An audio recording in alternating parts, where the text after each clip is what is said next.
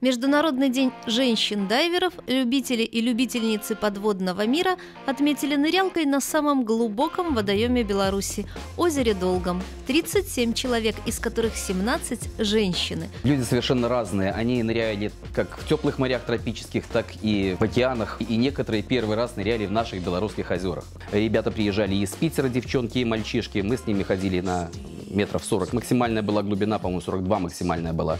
Open water дайверы и у кого специализация и сертификация поменьше, пониже уровнем, они погружались на, на маленькие глубины. На маленьких глубинах интересно тем, что можно посмотреть очень много интересных рыбок. Каких-то травички, какие-то раки интересные синего цвета, причем они у нас на озере Долгом. Суровые белорусские мужчины-дайверы вовсе не считают нырялку ни женским делом. Это на берегу снаряжение для некоторых девушек может быть неподъемным. В воде же у всех одинаковая нулевая плавучесть. Возраст для начала занятий дайвингом также не имеет особого значения.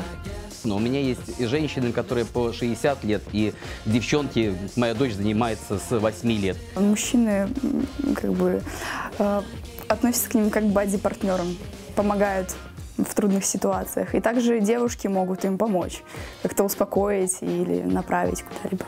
Полине всего 19, а ее дайверский опыт 11 лет. Это каждый человек, он по-своему ощущает и переносит э, какую-либо среду новую для себя. И как бы выделить мужчину не труднее или женщине труднее погружаться, ну, здесь нельзя так сделать. Сами дайверы любят сравнивать подводный мир с космосом. Та же тишина, тьма и невесомость. Впрочем, в космос обычному человеку попасть практически невозможно, а вот путь в дайвинг, будь то для мужчин или женщин, открыт всех женщин-дайверов, которые приняли участие в нашем выезде, а также те, которые хотели присоединиться, но по некоторым причинам не смогли. Ну, присоединяйтесь к нашей команде, будет весело и интересно.